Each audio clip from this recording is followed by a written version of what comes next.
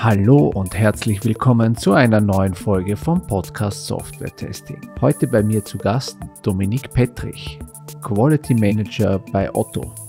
Der eine oder andere kennt Otto vielleicht noch aus der Zeit der Versandkataloge, aber Otto hat sich den Herausforderungen der Zeit gestellt und hat es in meiner Wahrnehmung sogar geschafft, als einer der wenigen Konzerne wirklich eine gute agile Transformation hinzubekommen. Und so betreibt Otto heute einen großen Marktplatz und hat es geschafft, sich selbst in die Neuzeit zu katapultieren.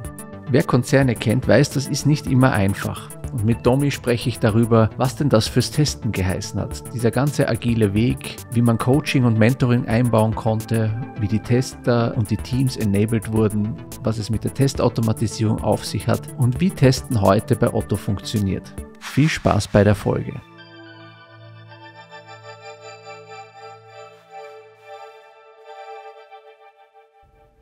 Hallo, schön, dass du da bist. Moin. Schön, dass ich da sein darf.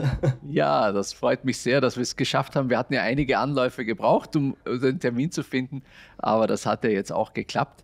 Und äh, ich finde ja, äh, also du arbeitest ja in einem ganz äh, spannenden Umfeld, finde ich, weil äh, du bist bei, bei Otto, na, das kennen manche Hörer vielleicht noch so von früher vom Katalog, na, als man den, den Katalog bekommt.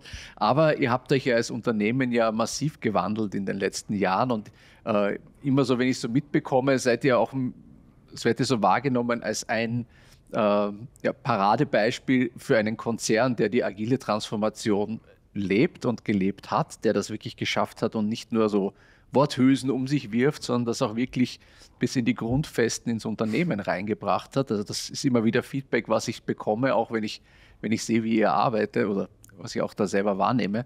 Und äh, ja, und äh, in dem Bereich, da ist natürlich für mich nochmal ganz spannend, wie, wie, sieht denn das da mit der Qualitätssicherung aus? Weil äh, also im Agilen eh schon komplex, na, wie man das alles auch gut unterkriegt. Ja. Ähm, aber wie macht man das dann auch noch im Konzern, um wirklich auch ein gutes, gutes Produkt zu liefern? Und deswegen freue ich mich, dass du heute da bist, mal so einen anderen äh, Blick auch auf Qualität uns zu geben, nämlich wie ihr auch Qualität lebt und wie ihr das macht. Ja, ich bin sehr gespannt. Genau, also lange Rede, kurzer Sinn. äh, genau. Äh, ja, lass uns da einfach direkt reingehen. Was, äh, du bist ja jetzt auch schon einige Zeit lang dabei. Äh, wenn du mal so drauf schaust, was, was ist denn bei euch, äh, sagen wir mal so, der, der, der Kern der Qualität? Wie, wie habt ihr euch organisiert? Wie, äh, wie macht ihr denn das eigentlich? Ja, ähm, da muss ich vermutlich ein bisschen ausholen. Ähm, aber ich erstmal teile ich deine, deine, deine Wahrnehmung. Damals, als ich zu Otto gekommen bin, ist das auch unter anderem deswegen passiert, weil ich gesehen habe, auch auf einer Konferenz tatsächlich, wie, ähm, ja, wie weit Otto schon ist, wie, wie weit die im Tech-Stack sind, dass Otto eben kein altmodischer Kataloghändler mehr ist, sondern tatsächlich ein Tech-Unternehmen ist, ein sehr modernes, würde ich behaupten.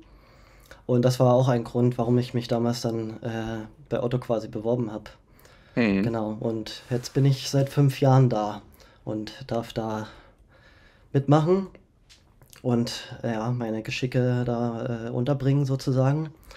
Ähm, und im Prinzip haben wir genauso angefangen wie ganz viele. Wir waren, bevor Otto den Shop und die App in Eigenentwicklung, komplett in Eigenentwicklung entwickelt und betrieben hat, ähm, waren wir auch ganz klassisch wasserfallartig unterwegs. Da gab es so ein Testteam, wie man das eben so kennt von damals. Ja. Äh, die Entwicklungsteams haben Software entwickelt, die haben das dann über den Zaun geworfen und dann gab es da Tester und TesterInnen, die da getestet haben und ihr Feedback wieder kundgetan haben, genau.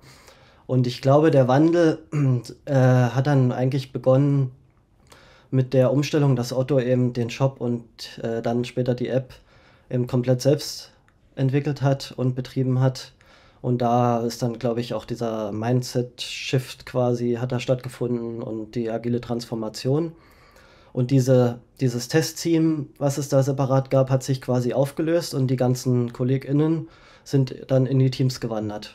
Mhm. Und anfangs war es so, dass diese KollegInnen, das waren halt klassische Tester, die einfach dann in den Teams die Testaktivitäten übernommen haben. Ganz einfach ja. war das.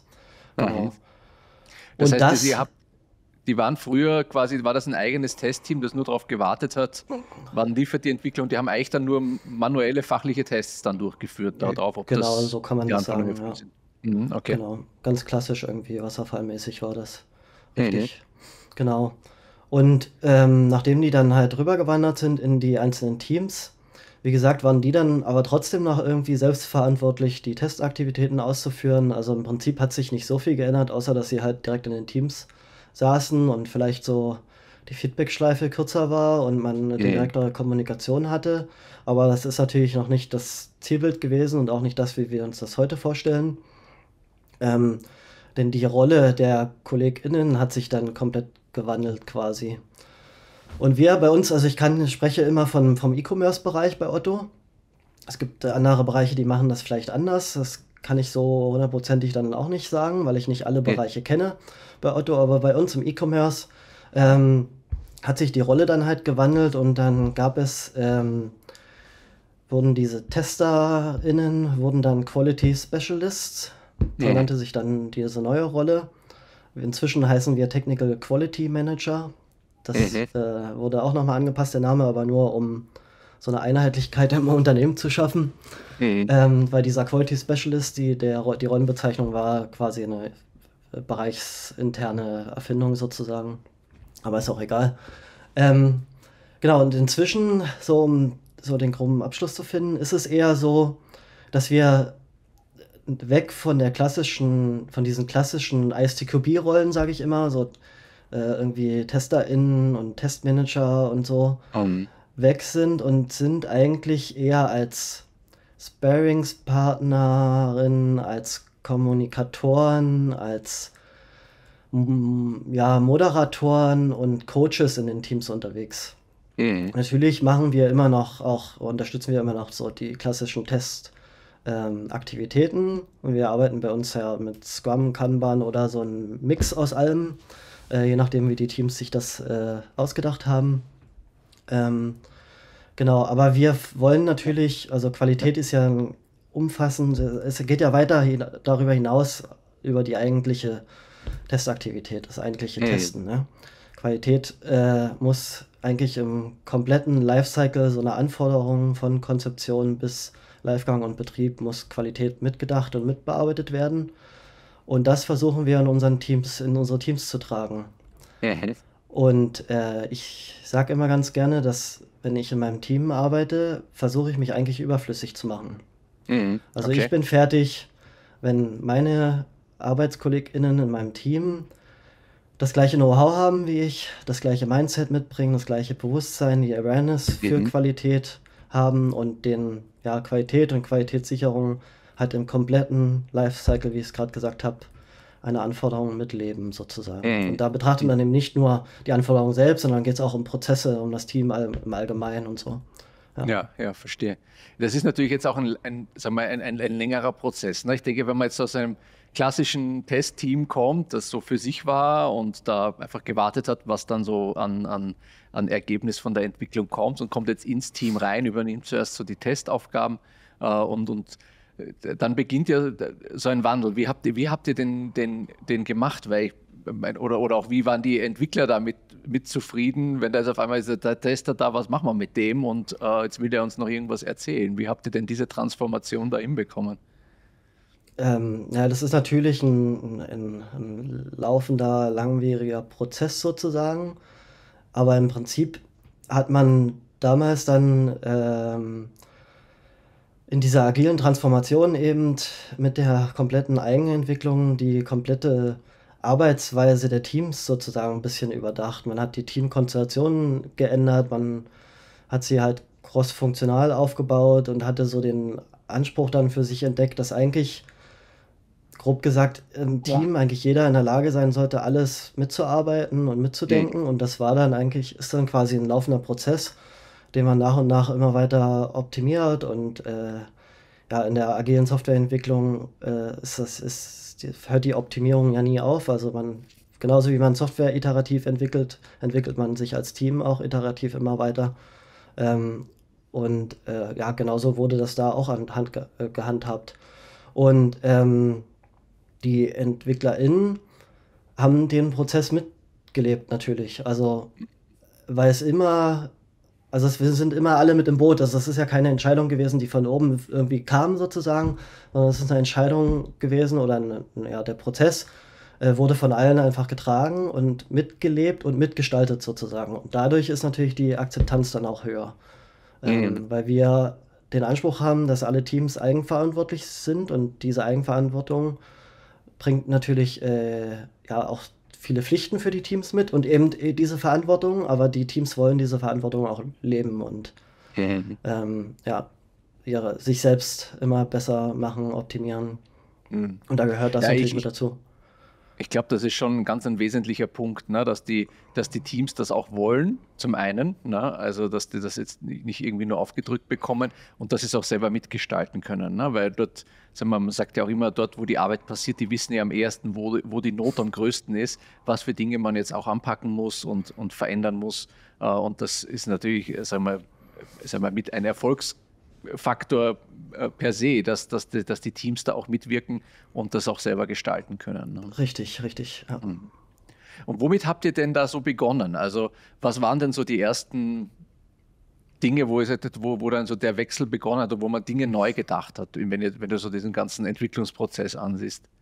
Also ganz klassisch, wie gesagt, dadurch, dass die Kolleginnen damals ja einfach erstmal getestet haben in den Teams, ging es dann natürlich erstmal um so die ganz einfachen Dinge, wie, wie schreibe ich Tests, mit was schreibe ich Tests, mhm. was für Frameworks nutze ich? Und das dann zu verteilen auf die, auf die Schultern sozusagen. Also dass dann nicht äh, die QSler sozusagen dafür verantwortlich sind, Tests sich auszudenken, zu schreiben und die auszuführen, sondern dass alle enabled werden, das zu tun und mhm. die Verantwortung zu verteilen und dann geht's, ist das so eine grundsätzliche Know-how-Verteilung erstmal. Mhm. Ähm, genau, und man hat ja natürlich vorher die Herausforderung schon gesehen, dass natürlich so ein, eine Testressource quasi auch dann ein Bottleneck sein kann und das wollte man natürlich vermeiden. Und deswegen äh, sind da dann alle natürlich dabei und wollen das mehr, also intrinsische Motivation muss natürlich da sein und die ist bei jedem mehr oder weniger gegeben. Das ist auch mhm. heute noch so, dass wir haben natürlich KollegInnen, die vielleicht weniger gerne Tests schreiben als andere, so, das ist ganz normal, ne? Ähm, aber, aber die, die, die, die, die, ja, die Painpoints, die da waren, in dem, also führen automatisch dazu, aufgrund dieser Eigenverantwortlichung, äh, Eigenverantwortung und diesen Optimierungswillen sozusagen, dass mhm. man da gemeinsam dran arbeitet. Und wie gesagt, also ganz klassisch geht es erstmal darum, ja, was, wie, wie, wie generiere ich Tests, wie erstelle ich Tests, wie schreibe ich Tests, mhm. wie führe ich Tests aus. Mit sowas geht's los und dann versucht man die, den Lifecycle sozusagen weiter aufzubröseln, sage ich jetzt mal. Mhm. mhm. Da würde ich gerne genau. noch mal kurz mal mit, mit ein bisschen tiefer rein, nämlich wie habt ihr denn das in den Prozess verankert, auch in diesem Sinne, jetzt macht ihr Plannings oder so und, und wie teilt ihr euch das dann auf, dass das dann auch, oder wisst ihr überhaupt, was zu tun ist? unterschiedlich. Ähm, also unsere Teams sind grundsätzlich sehr autark und oder autonom unterwegs. Jedes Team ist für sich eben eigenverantwortlich und wir haben nicht so einen konkreten Text-Stack, wo drin steht, ihr müsst jetzt alle die Programmiersprache nutzen und ihr müsst jetzt ja. alle die und die Frameworks oder Tools benutzen, sondern eigentlich mehr oder weniger können das die Teams selbst. Es gibt natürlich bestimmte Dinge, die sind äh, fest und werden auch zentral äh, organisiert und sowas, aber grundsätzlich sind die Teams sehr autonom. Mhm. Ähm, und da kann sich das, kann sich das jedes Team auch eigentlich äh, quasi selbst ausdenken, wie sie das machen. Und wie gesagt, wie ich schon sagte, wir arbeiten halt äh, irgendwie mit Scrum und Kanban-Methoden, aber nicht so fest. Wir müssen jetzt äh, Scrum eins zu eins abbilden, wie es theoretisch mhm. irgendwo niedergeschrieben ist, sondern wir arbeiten, wir sagen mal so, wir arbeiten so nach Scrum-Bahn. Wir haben uns da halt selbst die, die Prozesse so rausgeguckt, die wir nutzen wollen und für uns halt angepasst, wie es jedes Team braucht. Mhm. Und ähm, grundsätzlich nutzen wir halt ganz normales äh, äh Kanban oder Scrum-Board. Da, da, ist eine Inbox, da ist eine. Bei uns jetzt zum Beispiel im Team, wir haben, dann gibt es so eine Analysephase, dann kommt eine Entwicklungsphase, dann machen wir eine QA, also eine äh, ja, äh, QA, eine Abnahme, dann kommt ein Livegang und ein Review-Prozess ist dann noch dahinter und sowas. Mhm. Ähm, und ähm, so machen das und, äh, alle Teams. Es gibt, äh, wir zum Beispiel bei mir, in meinem Team, wir machen jetzt keine speziellen Plannings oder sowas. Die Stories mhm. können jederzeit reinkommen und äh, abgearbeitet werden. Es gibt natürlich eine Priorisierung, einen Backlog, genau. Aber wir arbeiten jetzt nicht irgendwie dediziert in diesen zwei Wochen Sprints und nehmen uns vor dem Sprint vor, wir müssen jetzt so und so das und das schaffen ja. und schätzen das, wie, wie, wie lange braucht irgendwie eine Story oder nicht. Ähm, da sind wir relativ auch agil, also genau was das angeht. Ähm, wir gucken uns Stories vorher an, wir schätzen die tatsächlich auch, aber die Schätzung nutzen wir nur, um gegebenenfalls irgendwelche Diskussionspotenziale aufzudecken. Also wenn die Schätzungen weit auseinandergehen, dann müssen wir über die Story auf jeden Fall nochmal sprechen, weil dann haben alle irgendwie ein unterschiedliches Verständnis davon. Und das wollen wir auflösen. Nur deswegen machen wir zum Beispiel eine Schätzung. Die Schätzung mhm. selbst steht aber gar nicht in den Stories drin. Wir messen da auch nichts sozusagen. Wir messen so ein bisschen, wie viele Stories wir so schaffen, wie viele Tickets so. Ja. Ähm, genau, um dann ein bisschen einen Überblick zu haben, aber das ist für uns kein Maß, ob das jetzt erfol erfolgreicher Sprint war oder nicht. Wir arbeiten aber trotzdem in diesem Zwei-Wochen-Rhythmus, um alle Teams irgendwie synchron zu halten und um, um ähm, ja, Themenplanungen, die übergeordnet sind. Also wir haben natürlich ja auch Planungen, die von, vom Unternehmen insgesamt kommen, die runtergebrochen wird auf unseren Bereich, die runtergebrochen okay. wird auf Abteilungen, die runtergebrochen wird auf die Teams sozusagen, ähm, um da eine einheitlich, eine Synchronisation einfach zu schaffen. Genau. Okay. Aber äh, deswegen haben wir äh, Theo im Theoretischen, wir arbeiten mit Jira, haben wir Sprints abgebildet. Eigentlich arbeiten wir aber gar nicht so richtig in Sprints, sondern wirklich ja, sehr, sehr, sehr flexibel und agil. Mhm, genau. Verstehe, ja. Und wenn es jetzt quasi um rein um die, um die, sagen wir, die fachlichen Tests, wenn man das mal durchbricht, also das, das war ja das erste, womit ihr angefangen habt, na, wie, wie kann man das auch wahrscheinlich auch automatisieren, wie kann man diese ganzen Sachen machen, wer schreibt die Tests, wie kriegt man den, was, was waren denn sonst noch so für Qualitätsthemen, die ihr dann betrachtet habt, äh, wo du sagst, ein Quality Specialist, wie er hieß, hat dann da so seinen, seinen Input da reingegeben und das umgesetzt mit. Genau, ähm, genau, mit diesen Testaktivitäten und alles rund ums Testing an sich hat das begonnen. Und dann ging das halt, äh, wie ich schon sagte, weiter darüber, den, den, den, den Lifecycle halt weiter aufzubröseln. Also äh, nicht erst in der Entwicklung einzusteigen, sondern vorher schon und auch danach genau. die Prozesse und alles anzusehen. Und was vor allem, äh, wo ich da noch viel beteiligt war und bin, ähm, aufgefallen ist, war so die Herausforderung, erstens eben, da wir so viele Teams haben und ähm, in, in, den letzten Jahren sind wir extrem gewachsen und die Teams, äh, wie gesagt, sind ja sehr autonom aufgestellt dass wir so ein bisschen das Risiko gesehen haben, dass so Synergien verloren gehen, erstens. Und dass man vielleicht die Gefahr besteht, dass man ähm, rund um die Qualitätssicherung oder um Qualitätsthemen ähm, nicht präventiv unterwegs ist, sondern eher irgendwie reaktiv. Also der okay. Prozess steht irgendwann, er läuft und wir fassen ihn nicht mehr an, so nach dem Motto, so ganz, ganz einfach gesagt. Und die Befürchtung, oder und dann ist es so, ja, jetzt haben wir vielleicht mal einen Bug oder haben vielleicht mal einen größeren Fehler und jetzt müssen wir uns diesen Prozess irgendwie, woher kommt der und was sind die Ursachen und müssen dann nochmal irgendwie in die Qualitätssicherung gehen. Und das ist, kann ja aber nicht das Zielbild sein, sondern wir wollen ja präventiv von Anfang an Qualität mitdenken, um das mhm. zu vermeiden, dass wir irgendwie reagieren müssen sozusagen, weil wir natürlich möglichst viel vorher abfedern. Mhm. Und da haben wir uns dann überlegt, wie wir das machen können. Und ähm, haben dann gesagt, ja, wir müssen auf jeden Fall das Thema irgendwie erstmal teamübergreifend bei uns im Bereich treiben und haben dann, wir waren damals zu viert, haben uns dann zusammengetan und unsere Köpfe zusammengeschlagen quasi und haben dann final die Quality-Gilde bei uns ge ge gegründet, was erstmal nur ein Austauschformat ist. Mhm. Wo alle, die sich irgendwie mit Qualität beschäftigen, bei uns im Bereich und sich regelmäßig treffen und einfach mal schnacken, was so aktuell läuft, was sind so Herausforderungen, wie kann man sich gegenseitig unterstützen, was machen die Teams, was, wo, wo, wo kann man einfach voneinander lernen, Synergien nutzen, wo gibt es mhm. Schnittstellen und so weiter. Genau, die Gilde besteht auch immer noch, dass wir uns regelmäßig austauschen. Und ähm, dann gab es so die Entwicklung hin, äh, dass wir, wie, wie ich schon sagte, immer mehr Teams entstanden sind. Ähm, ähm wir hatten aber nicht mehr äh, Quality Specialists äh, oh. in den Teams, sondern wir haben jetzt aktuell ich keine Ahnung, um die 60 Teams bei uns im E-Commerce und wir sind so, mhm. weiß ich nicht, 15 Quality Specialists. Mhm. So. Also halt natürlich nicht jedes Team ein Quality Specialist. Mhm. Das ist auch erstmal völlig in Ordnung, weil erstens, wie gesagt, die Teams können das selbst entscheiden, wie sie sich auch aufstellen wollen in, der, in dem Zuge. Und wenn die, wenn die, die Rolle dieses Coaches, dieses Sparringspartner anders verteilt ist in einem Team, ist das ja auch völlig fein. Mhm. Ähm, genau. Trotzdem ist es uns wichtig, dass erstens ähm, wir Vertreter haben natürlich in diesem Austausch und dass wir nicht vergessen, dieses Qualitätsbewusstsein hochzuleben. Das war uns immer ganz wichtig. Wir müssen mhm. in den Teams verankern, dass Qualität wichtig ist und dass Qualität nicht nur Testen ist.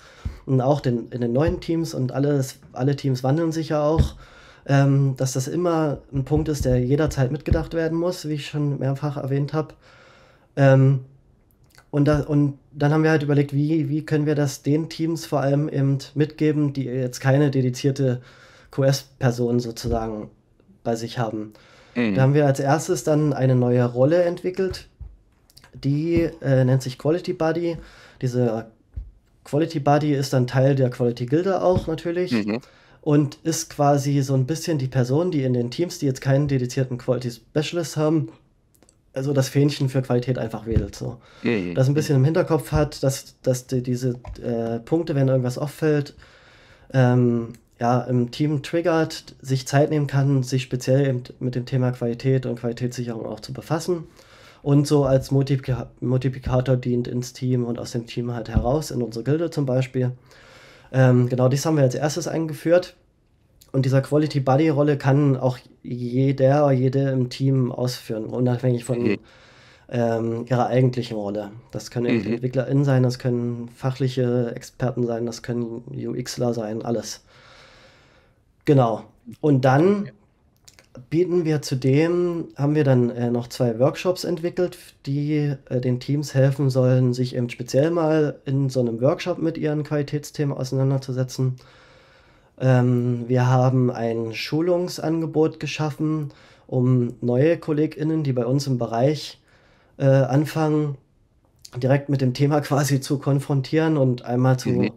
betrachten, ja, was ist Qualität eigentlich in der Softwareentwicklung? Äh, was spielt da alles rein? Was ist uns vielleicht wichtig im Bereich? Was machen wir schon? Welche Ansprechpartner gibt es da? Welche Formate? Welche, keine Ahnung, was gibt es alles, äh, um sich eben mit Qualität zu beschäftigen und sich da zu verbessern, um denen das von Anfang an mit an die Hand zu geben? Genau, und äh, ja, und ab und zu bieten wir auch so Vorträge an für alle äh, KollegInnen bei uns im Bereich zu speziellen mhm. Qualitätsthemen. Wenn wir da was haben, laden da mal ab, ab und zu auch externe Speaker ein. Mhm. Genau, ja, also super. ganz viel, um auch übergreifend unterwegs mhm. zu sein zwischen den ja. Teams. Also das finde ich total spannend, dass ihr da quasi auch so die äh, an die Hand nimmt und Angebote macht. Ne? Also zum einen die Gilde zum Austausch, aber auch quasi so ein Onboarding sozusagen. Wie komme ich denn eigentlich dahin, Qualitätsbewusstsein im Team zu leben? Wie kann ich es als, als neuer Mitarbeiter, auch als neuer Tester vielleicht dann auch mit ins Team reintragen. Also das, äh, das finde ich schon also sehr erwähnenswert auch, weil das häufig wird das so vorausgesetzt. Ne? So, ist jetzt da, so machen wir so. Ne? Steht irgendwo der Prozess, aber das wirklich auch so zu begleiten, das ist, äh, glaube ich, auch ein ganz wichtiger Faktor, den, ja. den ihr da umsetzt. Ja. ja, und teilweise auch so einfach mal wieder Grundlagen anzusprechen. Man geht irgendwie immer mhm. davon aus, wenn man neue KollegInnen einstellt, auch EntwicklerInnen und sowas, dass die natürlich gewisse Dinge schon mitbringen, ein gewisses Mindset, aber einfach mal wieder zu, zu, darüber zu reden, ja, wie kann ich zum Beispiel einfach mal Test, Testfälle erstellen? Was ist denn so eine Äquivalenzklasse oder sowas? Wie ja, kann ich genau. mal einen Entscheidungsbaum aufbauen? Das haben alle mhm. schon mal gehört, aber das einfach mal irgendwann mal wieder äh, aufkommen zu lassen, mal wieder kurz irgendwie mal anzusprechen, vielleicht nochmal zu zeigen oder so, das gibt, kommt, kriegen wir auch immer wieder das Feedback, einfach mal solche Grundlagen. Ja, stimmt ich mache das mhm. auch regelmäßig, aber das mal wieder dediziert einfach mal gehört zu haben, war gut, dass ich das mal wieder gehört habe, sozusagen, um das ja, ins Bewusstsein zu kriegen. Mhm. Genau. Ja, also das ist, äh, das, äh, das ist immer, das merke ich auch immer wieder, also die Grundlagen, das ist auch, das kann man immer wieder wiederholen, weil das geht so leicht wieder verloren, dass man so, ich weiß, ah, Grenzwerte habe ich schon mal gehört, ja, könnte ich mal machen, da müsste ich mal überlegen und da findet man immer noch wieder spannende Testfälle auch, die man dann durchführen kann. Ne? Jetzt, hast du, jetzt habt ihr ja quasi so einen interkollegialen Austausch auch über die Teams hinweg, der ja äh, jetzt eher so bei fachlicher Natur ist, würde ich sagen. Also eher, man tauscht sich über Testthemen und so aus. Aber ich merke in so großen Unternehmen, ganz große Schwierigkeit ist eher so auch die, sagen mal, die Testsynchronisation oder die Schnittstellen äh, zu anderen Systemen, zu anderen Modulen, anderen Komponenten und das zu testen, weil das so die Grenzen des eigenen Teams sprengt. Äh, weil im Team kann ich immer herumwursteln, wie ich möchte. Na, da mache ich mir mein, mein Zeug. Das andere Team macht sein Zeug und sobald es zusammenkommt, dann wird es schwierig. Wie, wie habt ihr denn das gelöst, so von Qualitätsseite bei euch? Ähm, also zwischen den einzelnen Teams äh, arbeiten wir halt ganz viel mit CDCs, äh, mhm. mit diesen Consumer-Driven Contracts. Ähm, genau, also mit automatisierten Tests, mhm. die dann bei uns ja. in den CI-CD-Pipelines in den jeweiligen Teams halt äh, laufen. Genau, das weiß gar nicht mehr, wie das damals gekommen ist, aber inzwischen ist das so eine Selbstverständlichkeit irgendwie. Also das mhm. gehört dazu. Wenn ich eine neue Schnittstelle zu einem Team aufbaue, dann mhm. ist das ein, ein Standard-Task sozusagen, der da abgearbeitet wird. Wir müssen, brauchen mhm. auch automatisierte Schnittstellentests und die lösen wir halt immer über diese CDCs. Mhm. Ähm, genau. Schwieriger wird es dann, wenn es äh, nicht nur zwei Teams betrifft, wenn, dann, wenn es dann wirklich in Richtung End-to-End-Testing oder sowas geht. Ja gerade in großen Projekten. Ähm, da äh, haben wir auch immer noch die Herausforderung, dass oft mal viel, viel Kommunikation stattfindet, dass viel, viel manuell auch passiert. Mhm. Ähm, das wünschen wir uns natürlich auch besser, weil das natürlich Zeit und äh, dann auch Geld äh, frisst quasi. Ähm, das ist tatsächlich auch ein Thema, wo wir aktuell dran sind. Wie können wir, vor allem wenn es um große Projekte geht, die ganz viele Teams, nicht nur in unserem Bereich, wo dann auch Teams wieder äh, betroffen sind, die wo wir mit anderen Bereichen zusammenarbeiten. Äh, wie können wir sowas end-to-end -end möglichst hochautomatisiert testen? Wie können wir die Aufwände verringern? Und mhm. äh, ja, da sind wir aktuell dran. Da haben wir noch nicht die perfekte Lösung. Also wie gesagt, aktuell ist es tatsächlich noch relativ viel manueller Aufwand. So zwischen einzelnen Teams über vielleicht wenige Teams hinweg haben wir generell einen sehr, sehr hohen Automatisierungsgrad, was Schnittstellentests angeht. Da sind wir sehr gut aufgestellt. Sobald es äh, ja. über Bereichsgrenzen hinausgeht und wirklich große Projekte angeht, da haben wir tatsächlich mhm. auch Herausforderungen, ja. Mhm. Ja. Ja, das ist also das, da seid ihr ja auch nicht alleine. Das, das Thema haben ja viele, aber ich merke schon, dass ihr euch da auch, auch gut Gedanken macht dazu. Ne? Ähm, jetzt dann das Spiel schwingt ja oftmals noch ein anderes Thema mit. Äh, da würde mich auch interessieren, wie ihr das löst, nämlich äh, der ganze Bereich der nicht funktionalen Anforderungen, wie ihr mit, mit Usability-Anforderungen, die ihr wahrscheinlich an den Shop auch mit habt und an die App äh, wie ihr mit Security, Last und Performance, wie, wie, wie integriert ihr denn das in eure, in eure Teamstrukturen rein? Ja, das sind unterschiedliche Themen. Das ist auf jeden Fall ein sehr wichtiges Thema. Ähm, wo fange ich an? Wir haben, fangen wir mal bei Security an. Wir haben erstens äh, bei uns im Bereich ein Team, was sich speziell um Security-Anforderungen und auch Services äh, damit beschäftigt. Ähm, die bieten unter anderem erstmal so ganz einfache Sachen an wie Security-Schulungen für alle. Hm. Genau, die sind dann auch Pflicht, um äh, damit, damit alle erstmal ein grundsätzliches Know-how haben. Zusätzlich nutzen wir bestimmte Tools, ähm, die wir von, also wir nutzen zum Beispiel von äh, GitHub verschiedene Tools, sowas wie Dependabot und sowas. Also äh. genau, wir arbeiten alle über GitHub, unsere Repos liegen alle in GitHub. Ähm, deswegen haben wir von GitHub da die, die Services eingekauft, ähm, die alle Teams dann auch äh, verpflichtend nutzen müssen. Mhm. Dann sind wir, unsere Infrastruktur steht ja in der Amazon Cloud. Ähm, auch äh, Amazon bietet verschiedene äh, Tools an, die wir integriert haben mhm. um äh, automatisierte Scannings erstmal zu haben und uns eine Meldung zu geben, dass wir uns die angucken müssen. Und wir haben sowas ähnliches wie ähm, diesen Quality Buddy, den ich schon gesprochen hatte, haben wir mhm. auch einen äh, Security, Security, Champion in, in den jeweiligen Teams. Genau. Also jedes ja, ja. Team hat jemanden, der in, aus, wieder in so ein Austauschformat geht, der so ein bisschen äh, die Security-Themen noch ein bisschen mehr betrachten soll mhm. und da Themen mit reinbringt. Genau. Und dann gibt es eben gewisse Anforderungen, die wir einfach umsetzen müssen, die dann quasi von diesem Security-Team kommen, die sich mhm. eben den ganzen Tag mit Security in der Softwareentwicklung und drumherum beschäftigen. Mhm, genau, das ist das Thema Security. Dann haben wir natürlich auch Dinge, äh, natürlich äh, starke Last- und Performance-Anforderungen äh, oder Verfügbarkeitsanforderungen. Also der Shop ja. darf einfach nicht down sein, klar. dann dann wird es teuer.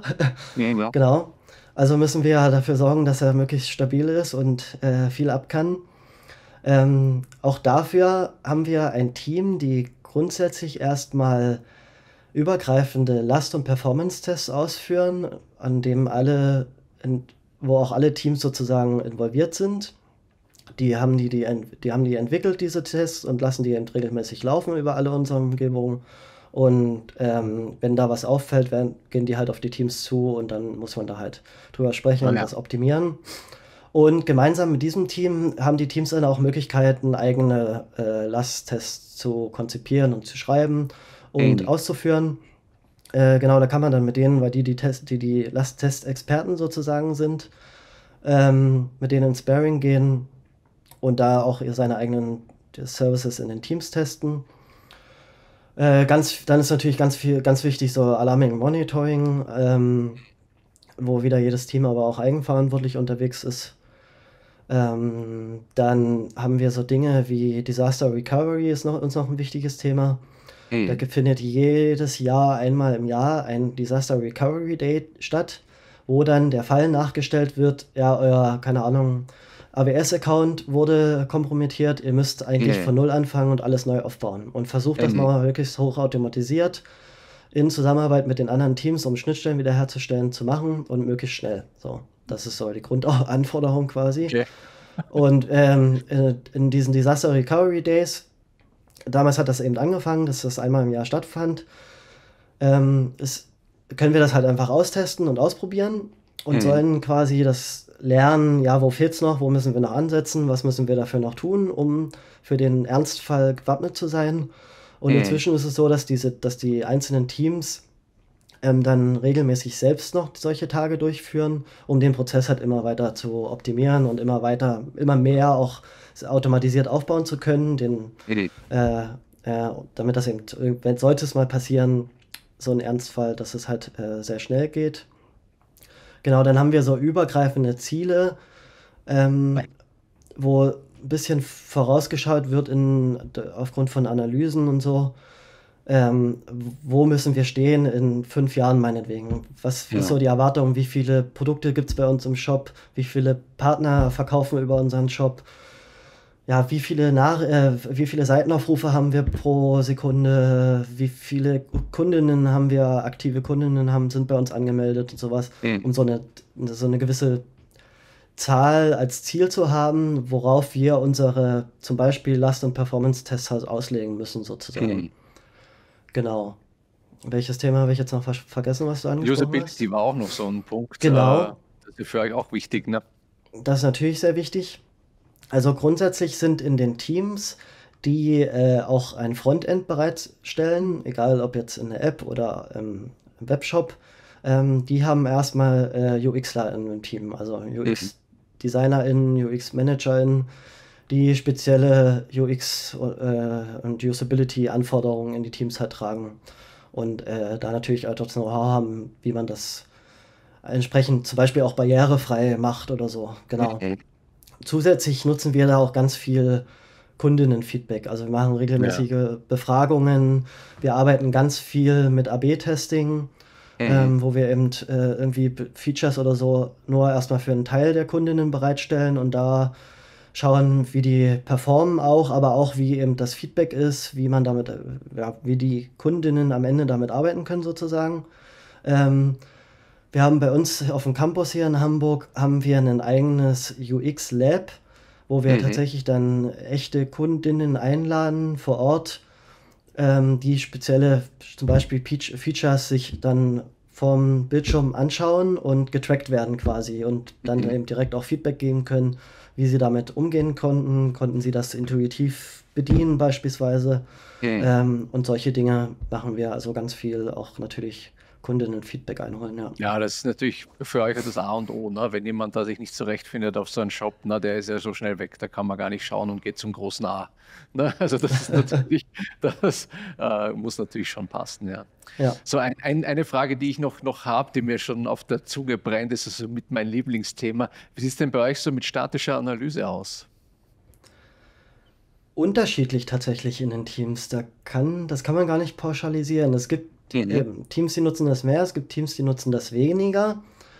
Ähm, zum Beispiel, also wir bei uns im Team, wir nutzen eben so Linting und sowas, aber mhm. speziell jetzt im Testkon äh, ähm, ähm, Testkosmos nutzen wir das gar nicht so stark. Also wir haben gar keine Automatisierung, wenn es darum geht, ja, wir schauen uns unsere Testabdeckungen oder sowas an. Mhm. Mhm. Sowas passiert dann eher lokal, dass ich, wenn ich äh, selbst entwickle oder mit, wir entwickeln ja auch ganz viel im Pairing, mhm. ähm, dass wir uns da lokal mal sowas laufen lassen. Wie sind wir da gerade unterwegs oder dass ich ja. zum Beispiel als QSler im Team mir sowas regelmäßig anschaue. Es gibt aber, wie gesagt, auch Teams, die tatsächlich in ihren CI-CD-Pipelines da Quality Gates eingebaut haben, die sagen, okay, wir, unsere Testabdeckung muss so und ja, so ja. hoch sein und da lassen wir dann auch tatsächlich automatisiert äh, Analysen drüber laufen. Ja, ja, kann man gar nicht so pauschalisieren. Da sind die Teams tatsächlich ja, spannend, sehr autonom unterwegs. In die Verantwortung der Teams zu geben. Ne? Also das finde ich auch eine, eine interessante Sache. Ne? Viele wollen das ja dann von außen noch steuern. Wir müssen da jetzt unbedingt äh, das alles ganz hart fahren, aber das in der Eigenverantwortung zu lassen, das hat natürlich auch seinen Charme. Ne? Mhm. Ja, ja, ja. Wenn du jetzt so auf die, auf die nächsten fünf Jahre schaust, ne? also du hast ja vorher gesagt, das fand ich ganz schön, dein Ziel ist eigentlich, dich überflüssig zu machen in dem Team und dann zum nächsten zu ziehen, sozusagen, äh, damit die das, weil die das auch selber können sollen und diese, dieses Wissen und dieses Know-how selber aufbauen sollen.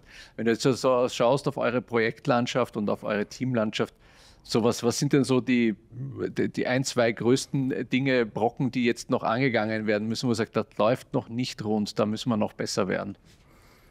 Also die Herausforderungen, die wir vorhin schon als Thema hatten, auf jeden Fall, ähm, sind eben diese vor allem im ganz, ganz großen Projekte, die den kompletten Shop samt Backend und so betreffen, wo es dann, wo dann Bereichsgrenzen mehrfach überschritten werden, die äh, Projekte äh, eben auch end-to-end, end-to-end, Ende-zu-Ende testen zu können. Mit möglichst manuellem, mit möglichst wenig manuellem Aufwand möglichst einfach, möglichst irgendwie im eigentlichen iterativen, agilen Prozess integriert. Das ist so eine ganz große aktuelle Herausforderung, die uns sicherlich noch länger begleiten wird. Ja, Ähm, dann kommen natürlich so Themen wie äh, KI, was ja in aller Munde ist, die, mit denen wir uns natürlich aktiv beschäftigen, mit denen wir ja auch schon ganz stark arbeiten. Also bei uns ist schon ganz viel, wird schon ganz viel mit Algorithmen auch gearbeitet. Aber das Thema wird ja immer wichtiger, auch äh, wie kann ich KI in meinen eigenen Arbeitsprozess einfach integrieren. Ja. Genau, und äh, oder sowas, solche Dinge wie Copilot oder sowas äh, oder ähnliches von GitHub. Ähm, wie kann mich KI in meiner eigentlichen Programmierarbeit sozusagen unterstützen? Das, ja. Da geht es ja auch um beispielsweise, wie schreibe ich Tests, also auch da kann mich die KI vermutlich unterstützen. Damit mhm. beschäftigen wir uns aktuell auch ganz stark und probieren da ganz viel aus und schauen da, was zu finden, was irgendwie allen weiterhilft und Best Practices einzusammeln und sowas. Ja. Ähm, genau. Ähm, dann geht es noch so um Dinge. Ähm, wir sind ja nicht nur zukünftig im Webshop unterwegs und nicht nur in der App, sondern es wird ja immer mehr. Also man kann sich ja zukünftig wird man, keine Ahnung, über ein Smart TV shoppen können, man wird vielleicht übers Auto shoppen können, man, mhm. keine Ahnung, was, was da noch alles an Möglichkeiten gibt. Und auch das muss natürlich irgendwie integriert werden. Und ähm, müssen wir quasi in unsere Systeme einbinden. Darüber muss man auch, keine Ahnung, tracken können. Darüber muss man andere Dinge tun können, die einfach technisch notwendig sind. Das muss man auch testen können irgendwie. Ähm, ja, solche, solche Sachen, also ganz viele neue Technologien sind da so die Herausforderungen. Und eben die wachsende Anzahl, wachsende Anzahl der Teams überhaupt generell. Ähm, dadurch auch die Verminderung der eigentlichen QSler, weil mhm. äh, es perspektivisch schon so sein wird, gehe ich zumindest persönlich erstmal davon aus, dass wir nicht mehr QSler werden, sondern dass schon mhm. Das Zielbild ist eben, dass wir uns QSler nicht mehr brauchen. Ich mache mich überflüssig und alle und das komplette Team selbst kann die Aufgabe übernehmen, so wie wir uns das vorstellen sozusagen und lebt Qualität halt von Anfang bis Ende mit und bearbeitet das mit und hat dieses Bewusstsein und das Know-how. Mhm. Ähm, aber und dadurch wird es halt immer wichtiger, diese übergreifende Tätigkeit eben äh, oder das Thema übergreifend, teamübergreifend zu treiben, was wir eben jetzt ja. schon machen. Aber das wird halt immer wichtiger. Also ich glaube nicht, dass ich dann in das nächste Team wandere, sondern ich glaube eher, dass ich von dem Team weg in diese übergreifende Tätigkeit wandere und meine Aufgabe wahrscheinlich dann eher darin liegt, weiter übergreifende Angebote zu, zu schaffen, die Teams zu enablen und zu unterstützen. Hm, genau. Verstehe. Ja, super. Also es bleibt auf jeden Fall spannend. Äh, ich bin auch also mit einem Ohr und einem Auge immer wieder hinlucken, wie ihr so äh, äh, auch, auch weiter euch entwickelt und so, weil ich das, wie gesagt, auch ganz spannend finde. Ich arbeite mit vielen Konzernen zusammen und das ist, also die, die Themen, die du angesprochen hast, da wäre ich froh, wenn manche schon da wären, aber es sind oft, es ist halt kein einfaches Umfeld. Ne? Es gibt viele alte Strukturen, viele äh, Themen, die nicht passen, Rahmenbedingungen, Infrastruktur, organisatorisches, was bedacht werden muss. Aber äh, ihr seid da, finde ich, ein echt tolles Beispiel, dass das auch funktionieren kann, auch in diesen in diesen Größen. Ne? Vielleicht nicht nach Bilderbuch, aber zumindest fast. Ne? Und ja, äh, das finde ich, schon, find ich, schon, find ich schon toll. Ja, ich danke dir herzlich, dass du äh, hier in der Podcast-Folge mit dabei warst und uns nochmal diesen Einblick, diesen breiten gewährt hast. Äh, war vielleicht auch nicht das letzte Mal. Äh, mal schauen, was dann in, in einiger Zeit dann noch für News kommen von euch, äh, äh, die wir dann natürlich hier auch bringen können. Ja, ich danke dir, dass du da warst äh, und mir Rede Antwort gestanden hast und wünsche dir noch viel Erfolg weiterhin bei deinen, mit deinen Teams und, und im Unternehmen. Und sag Dankeschön. Ja, vielen Dank. Ich danke mich, bedanke mich auch. Hat sehr viel Spaß gemacht und ja, genau. Vielleicht hören wir uns ja mal wieder. War Auf sehr jeden spannend. Fall, ja. Genau. Dankeschön. Ciao. Alles klar, mach's gut. Ciao.